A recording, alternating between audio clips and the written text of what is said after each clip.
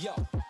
Hey guys, we're here with Bibek. He's getting ready to start his six-week challenge. How are you feeling today? Pretty excited.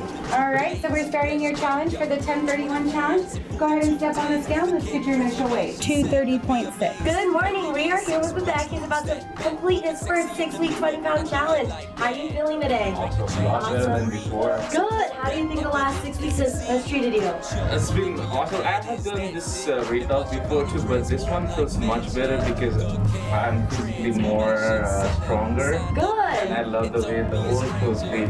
Oh, there you go. Yeah, right. Get rid of all the, the recent stuff and put on the Yeah. old ones. Let's go and make this uh, weight loss uh, official. 208 on the dot with a total weight loss of 22.6. All right. Yes, congratulations. Nice job, man. Good morning. I'm here with Bibek, who's about to do his final weigh-in for his second six-week challenge.